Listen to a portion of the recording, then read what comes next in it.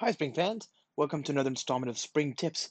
Uh, in today's very quick installment, we're going to take a look at the uh, new Spring Security Kotlin DSL. Uh, it's just nice. It's a very nice DSL. The Spring Security team have been doing some uh, amazing work, I would say, uh, since 3.0. So Spring Security, we're, at, we're now at 5.2, uh, looking forward to 5.3, but it's come a long way since 3.0, the, the, the major release. And um, I think a lot of the work that's been done there has been making Spring Security more approachable from a Java perspective. And so uh, we had uh, XML. There's reams and reams of XML uh, at first when Acegi came out, and then Spring Security got more concise thanks to the introduction of uh, schema and Spring Framework itself. Uh, and then uh, we had a Java DSL in 4.0. Um, it was uh, really nice. It's it's it's a fluid DSL. It it uh, you know you could do just about everything. It was a little confusing. Um, I would say from for me at least, I, I find it a little overwhelming. But that's just because Spring Security itself can be a little overwhelming. Over time, uh, that DSL that and Spring Security in general uh, has done more and more for you. So now the surface area of most of my security applications is you know a few Spring Boot configurations for OAuth or uh, like properties just for OAuth, or if I'm doing a, a hard-coded username and password kind of demo, it's just one bean for authentication and another another one for authorization, and that's it, right? And we're talking like ten lines of whatever, be it Java code or properties or whatever. So you know, while I love Spring Security, um, what I really love about it is how concise it is now. It is so so accessible, and they still haven't stopped there, right? They're not they're not they're not ones to to rest on their laurels, and so in the recent release in 5.2, they released a uh, modified, or maybe it's 5.1. I, I, who knows? Uh, uh, it's been um, fairly recently. They released a uh, a Java DSL. They they modified the Java DSL, so it still works as before. You can still use the old DSL, nothing changes. But now, instead of chaining uh, operations or modifiers off of fluid API calls, uh, as you did before. Now you have lambdas, right? There's a uh, a context that's given to you, and you can in the in the lambda you can use the context to to configure things. So it becomes easier to nest. You can say, okay, this belongs inside of that, uh, and it becomes easier. You don't have to use indentation uh, to kind of see what belongs to what, what modifies what, right? It's now very clear. The DSL kind of guides you to uh, the finish line. Um, and I like this new DSL, and uh, I thought that was a, a big improvement because now it's very clear. Okay, if I want to modify this, I do so inside of this. This is what I'm doing, right? I don't have to like try and figure out which indentation meant what. Um, now they've gone even further. Now they've gone even further in uh, introducing a Kotlin DSL, and that's what I want to show you today. I, I, I love any chance I can get to play with Kotlin, uh, so uh, I was very excited to see this DSL. We're going to go ahead and build a new application. We're going to use the latest and greatest version of Spring Boot. Uh, and I'm going to use, and I'm going to use a, uh, you know, just the defaults here for Kotlin. I'm going to use Kotlin security. Uh, we're going to bring in, a, we're, just, we're just going to bring a, build, build a regular web application. Uh, we're going to use Spring security. And I guess that's it. I, I can't, I, I don't really know what else to add. I guess that's enough for now. Let's just build an app. Uh, we'll go ahead and build a new app using our zip file, open this up in the IDE. Okay.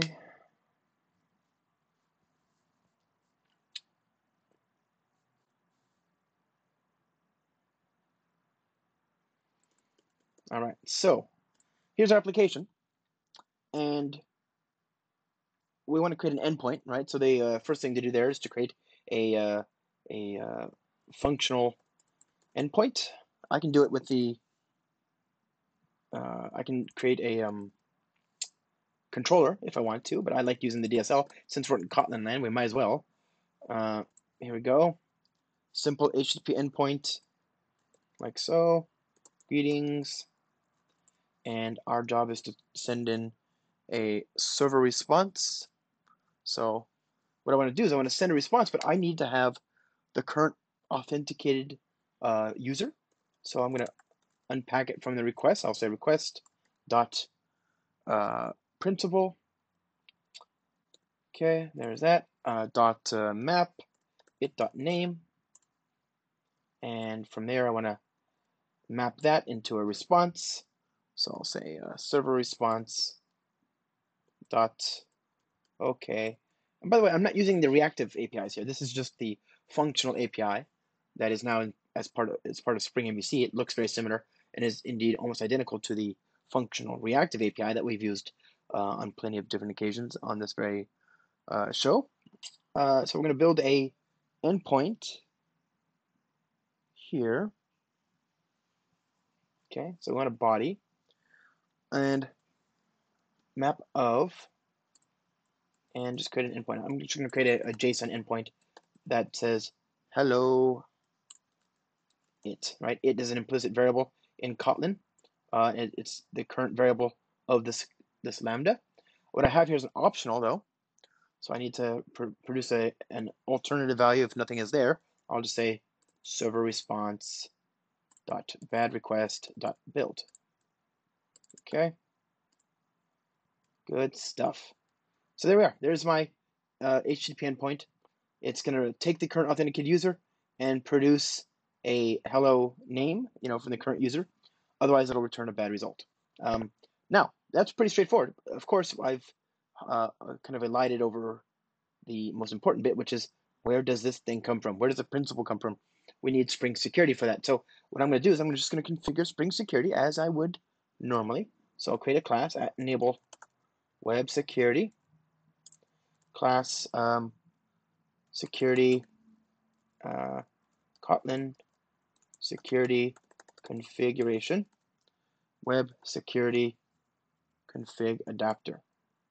Okay, and all I want to do is I want to override the HTTP configuration. So I'll say HTTP uh, and uh, configure that.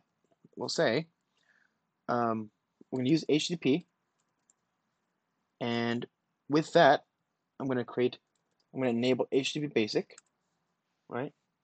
So let's see. HTTP basic. Well, hello.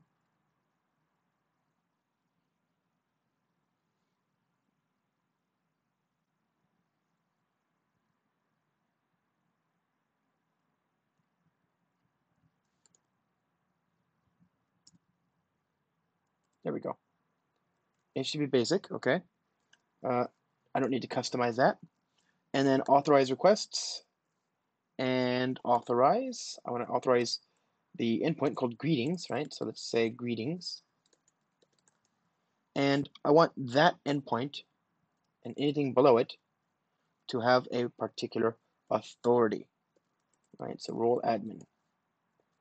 And otherwise, I want everything else to be wide open, permit all. So there's a, a inbuilt variable in the context there. And that's it. That's the Kotlin DSL. Isn't that cool?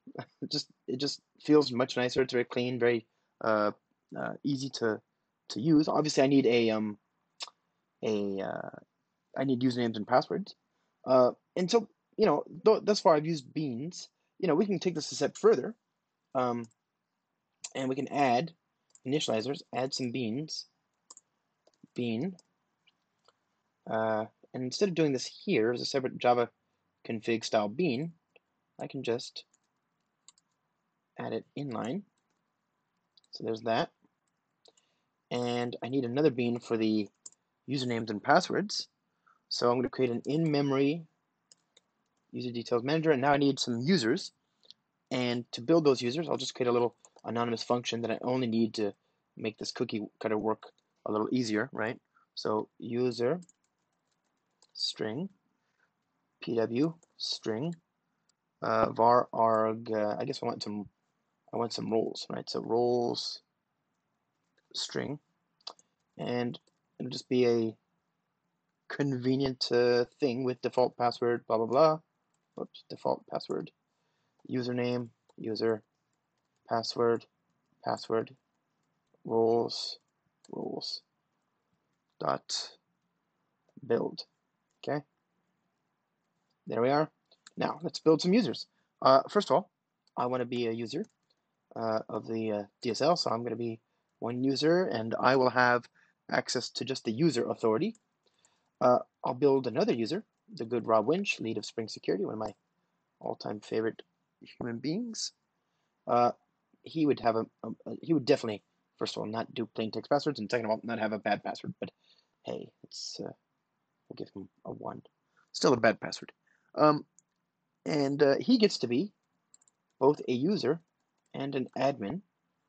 Okay, so there's our endpoint. Uh, and now, you know, we've actually added these users to the system here. And what did I do here? Did I have a, I want to, um, oh, so you have to unpack it. Right, there you go. So that's a little weird. I'm still, sometimes I forget about that part in Kotlin. Uh, let's see. Um, I think we're it. I think we have everything actually. Sometimes I mean, look at it. It's just a, it's, it's a, it's what is that? Fifty lines of code. I mean, gorgeous. What a nice, nice application. I've got a web web application with a username and password based database, uh, and a uh, I've got security. I've got a secure endpoint. So let's run this and see what we get. So remember, according to these rules, whoever is role admin is allowed to access the system. So Rob Winch has admin privileges, uh, whereas I am a um, uh, merely a user. Okay, so I won't be able to access this greetings endpoint, and uh, that makes me sad. curl minus u r winch pw1 http localhost 8080 forward slash greetings. Okay, that worked. Let's try me with my terrible password. And I'll do minus v to see the output of the headers. Uh, first of all, you can see the, the JSON itself was forbidden, so I'm not allowed. I got a 403 header uh, status code, so, you know, not authorized, right? Um, so that works. Our security is in place. Uh, it's it's a nice DSL. It worked, you know, it looks very familiar if you ever used it before. And you're opting in. I love how, like, I want to opt in to HTTP Basic. Great, I opt in.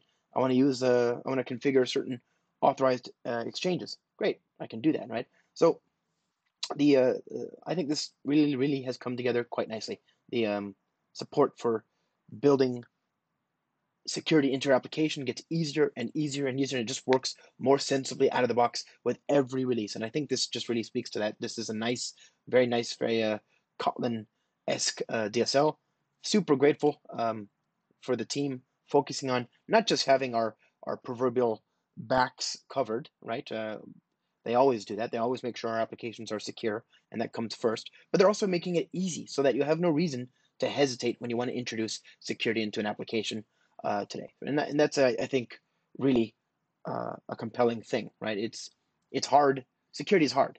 It, it it's it's one thing to to address security. It's quite another to make it look easy, or at least make it feel like it's easy, like you're not uh, toiling for no reason. So thank you, Spring Security Team. This is super cool. I can't wait to see uh, this DSL go further. And uh, uh, as usual, Spring fans, I hope you got something out of this video.